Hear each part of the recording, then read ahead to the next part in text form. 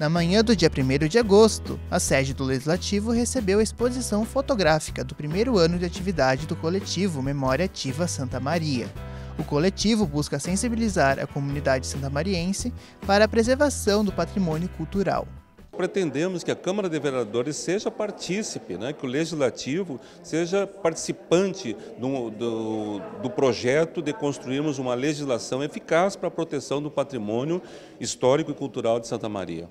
E por isso nós estamos, através desse registro fotográfico das nossas ações durante esse ano, mostrando para a população que não é preciso muita coisa para que se possa preservar. O que é preciso é vontade, é disposição. Revitalizar na população e nesse espaço que é a entrada para o plenário, né, que as pessoas possam enxergar Santa Maria como Santa Maria foi, como Santa Maria é e preservar, realmente ter o carinho, como falou a, a, a, o discurso agora, a questão do afeto. Então, só preserva aquele que tem carinho, porque quem não tem carinho não preserva.